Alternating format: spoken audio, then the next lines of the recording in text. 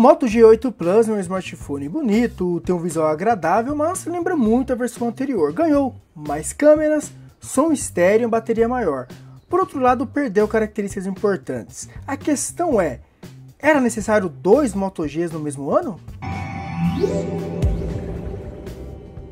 O Moto G8 Plus é um aparelho que a palavra para ele seria complicado. Por quê? Ele é o exemplo da nova estratégia da Motorola de lançar vários aparelhos em um período curto de tempo. Uma estratégia que ficou estranha já que fazem poucos meses que o G7 Plus ele foi lançado. Se nós olharmos bem para ele, olhando aqui na parte da frente, nós vemos que o aparelho não mudou muito em termos de visual. Ele ganhou uma tela um pouquinho maior, mas é algo imperceptível. Por outro lado, ele perdeu o logo da Motorola aqui embaixo e ganhou um note menorzinho. Essa é a diferença frontal. Na parte traseira, nós temos aqui a mudança mais drástica. Ele perdeu aquela câmera né, com visual de tampa de bueiro e ganhou aqui uma câmera em linha na vertical, seguindo o exemplo da linha One. Aqui um ponto interessante, como ele foi lançado pouco tempo depois do G7, parece que a Motorola não tinha um projeto tão diferenciado para colocar no G8 Plus que seria o seu sucessor. Então ela pegou várias especificações, várias coisas de outros aparelhos da marca e juntou nele aqui. Então ele tem muita coisa que nós vemos na linha Motorola One. A começar pela sua câmera, nós temos aqui uma câmera de ação que herdou lá do Motorola One Action, mas vamos falar mais das câmeras daqui a pouco. Voltando ao visual dele, eu acho que a principal perda foi de material. Ele agora é inteiro de plástico. Então nós vemos aqui uma regressão na linha Moto G. Nós tínhamos lá no Moto G5S Plus um aparelho inteiro de metal, né? um aparelho que tinha uma aparência premium, bem robusta. Depois no seu sucessor, saiu o metal da parte de trás, foi substituído pelo vidro. Depois, o metal foi substituído pelo plástico e agora também o vidro foi substituído pelo plástico. Então temos aqui no Moto G8 Plus um smartphone inteiro de plástico, já que isso diferenciava a versão Plus dos outros. Ele ficou ligeiramente mais grosso, mais pesado, Porém aqui é um bom motivo, já que a bateria dele cresceu de 3.000 mAh para 4.000 mAh e essa foi uma das principais características desse aparelho. Falando em câmeras, ele tem três sensores. O primeiro, o principal, é de 48 megapixels com abertura de f1.7. O secundário é um ultra wide, uma câmera de ação né, para filmar com ele de pé, porém não tira fotos. A qualidade geral da câmera principal é muito boa. Durante o dia você consegue fotos com um nível de cores, de contraste excelente. A nitidez é muito boa. Algo bem bacana para essa faixa de preço para quem quer um smartphone com boa câmera. É, ele tem ainda um terceiro sensor de 5 megapixels, né, que só serve para fazer o efeito desfoque, né, a famosa foto bokeh e você consegue ter um bom recorte também, melhor do que acontecia no Moto G7 Plus. Notem essa foto aqui, que embora tenha estourado o branco, isso acontece no modo retrato, o mais importante que é o recorte ficou muito bom e deu um desfoque bem natural você pode regular esse desfoque. A câmera frontal também faz um modo é, desfoque, porém é, via software e consegue qualidade boa. E reparem que nessa foto que a câmera frontal tem um nível de detalhes muito bom, melhor inclusive que a anterior, porém não grava em 4K como o de 7 Plus.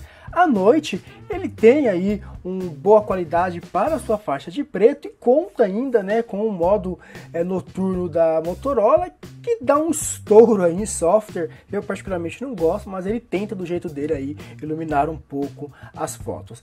A câmera de ação ela tem um ângulo aberto, né, ultra wide, Nessa, nesse vídeo vocês conseguem comparar a diferença entre os dois e no geral a qualidade é muito boa, você consegue um alcance dinâmico muito bom no foco automático, só tem foco automático, obviamente, e mas o nível de detalhes é bem bacana.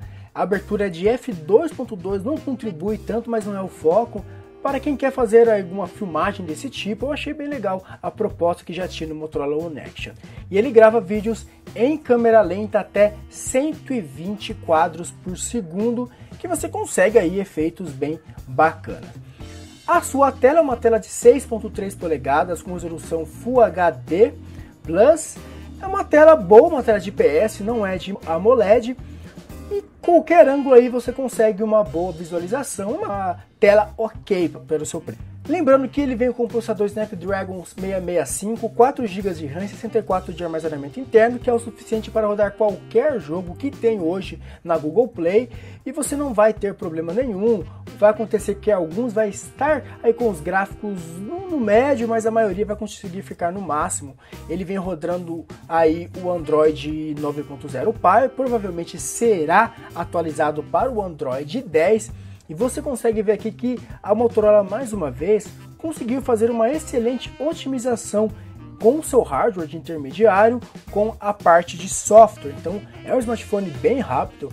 Eu utilizei aí por mais de um mês e você não repara nenhum tipo de travamento, não reiniciou no reboot nenhuma vez. E você conta né, com os recursos né, de você chacoalhar o celular para abrir a câmera ou para uh, acender o flash e outros recursos que a Motorola traz em toda a sua linha, né, com a mototela, motoações e etc. Bem bacana também. A bateria é de 4.000 mAh, que foi a maior evolução relacionando-se com o Moto G7 Plus. No geral, é uma bateria que vai aguentar o dia todo, ainda vem com carregador rápido de 15 watts, então não tem problema, ele vai aguentar um dia de uso para a maioria dos usuários. E aí, vale ou não a pena comprar o Moto G8 Plus?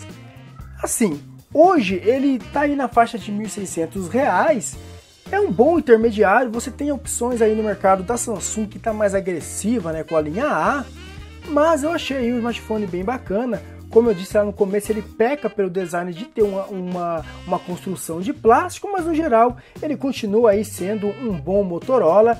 E para uh, o seu uso, né, que é o smartphone que mais vende aí da empresa, eu acho que ele vai continuar ainda sendo queridinho, ainda mais quando o peixe ainda mais quando o preço baixar mais. Beleza? Então é isso aí. Espero que tenham gostado do vídeo. Se gostaram, não esqueça de dar aquele like. Se for a sua primeira vez, se inscreva no canal e ajude a crescermos ainda mais. Mais detalhes lá no site tecmobile.com. Beleza? Então é isso aí e até o próximo vídeo. Fui!